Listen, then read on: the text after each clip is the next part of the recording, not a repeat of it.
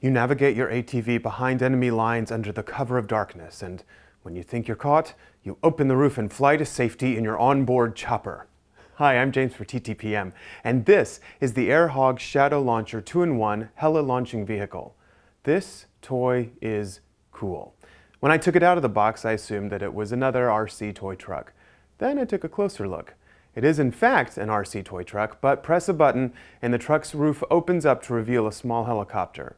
Then you use the same controller that was powering the truck to launch the chopper. When your chopper needs a charge, use the cord hidden in the remote control to power it up. Now there are a few things to be aware of here. The main one is that the controls aren't as sophisticated or responsive as you get if this were a toy truck or helicopter. But they got so much right that it doesn't really matter. This is still an exciting toy for kids over 8.